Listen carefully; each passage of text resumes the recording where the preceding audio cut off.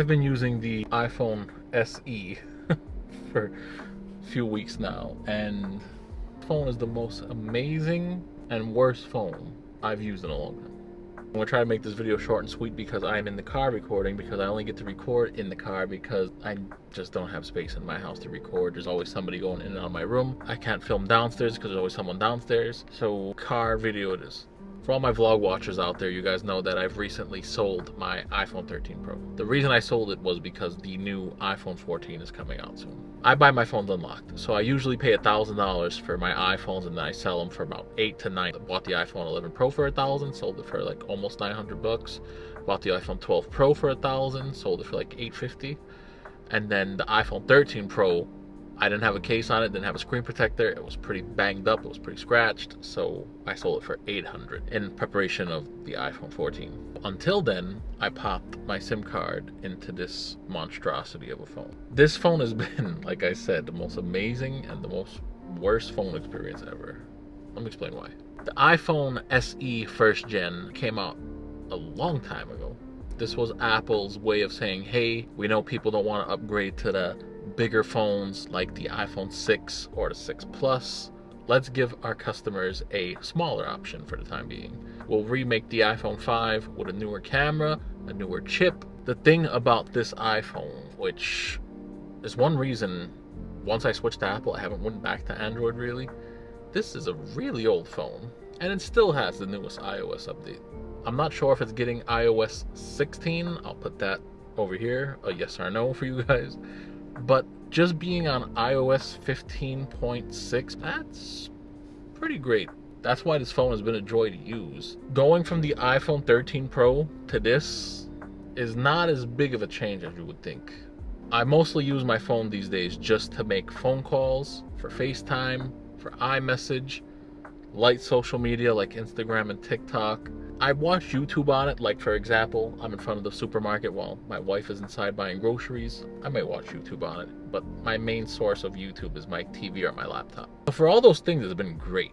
Where this phone suffers is in battery life, the home button, lag when you have a little bit too many apps open. And when I say a little bit too many, I mean like five or six. I guess it's a sluggish phone. Now, this phone could be completely fine for a normal person, but coming from the iPhone 13 Pro with a 120 frames per second screen, the newest chip from Apple to allow me to blaze through whatever I'm doing. It's kind of a big downgrade in that regard, but I mean, I make phone calls, I use Apple Pay, I'm doing everything that I would use my phone for. The major difference where I wouldn't recommend anyone using a phone like this is when it comes to the cameras. But even then, it's not that bad. I'm recording right now on a Sony a7 IV. This is a $2,500 camera. I purchased this camera to not use iPhones anymore for vlogging. I wanted to upgrade to something more professional. I saved up money for a long time and I got this camera. So, really and truthfully, I don't need the newest, the latest and greatest iPhone. The only reason I was upgrading to the newest iPhone so often was for the cameras for my vlogging channel. And if you guys go back and watch my vlog, you guys see the quality changes from upgrade to upgrade to upgrade, especially going from the Galaxy S10e to the 11 Pro. I haven't used this to vlog because I don't need to, but I did make one or two vlogs with it. I'll link them in the description. I'll put the thumbnails on the screen so you guys can see which ones they are. It's doable. This rear camera, believe it or not, could still shoot 4K 30 doesn't have like a stabilization or anything like that. It's pretty choppy. But if you're just holding it still, having the rear camera face you, it's not bad.